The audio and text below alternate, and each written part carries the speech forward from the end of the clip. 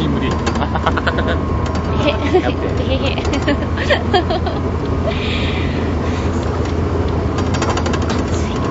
暑いですね。33度うん。すごい。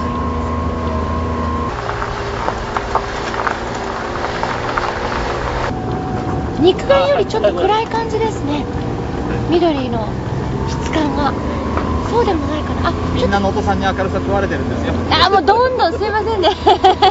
光足りないんで。いっぱいしょっとかないと。いっぱいしょっとかないと。いっちなみに背負ってます。ぱいしょっとかないと大変で前の人は後ろの人が見えませんのであまり右に行くようであれば右側が弱いわけね。ですからまあ少し強めに漕いでもらうと大丈夫です。いいですか？で、はい。漕ぐ時ですねあの腕だけで漕がないようにね。歩く時足だけで歩きませんよね。はい。必ず体全体使います。で漕ぐ時もですね右手を引く時は左手を押し出します。クロール分かりますよね。はい。クロールの要領です。でこういうふうに漕いでいきます。よろしいでしょうか。でバックするときはねそのまま持ち替えずに後ろから前へ漕いでもらえば。い。いですね。そこはい。沈没しちゃう。気をつける左だけ漕げばなんとかなる。ね右に行きます。で左行きたいときは右だけ漕げば左に行きますのでよろしいですか？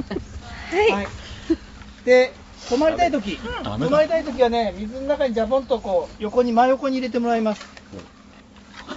あのまず漕ぐときね必ず自分の方向いてねこれをね上向いてるとね水を切ってるだけなんで前に進みませんので必ず自分の方を向けてまあ水を捉えて確実に漕いでいきます、いいですか？はいはい。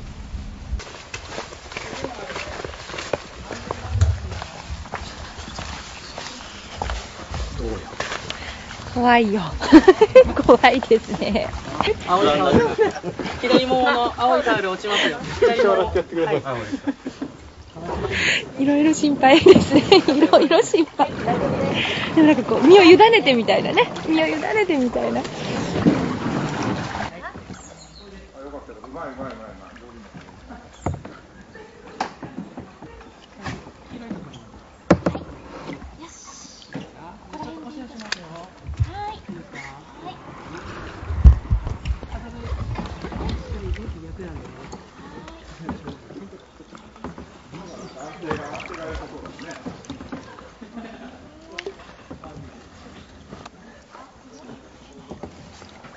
こいでこいで。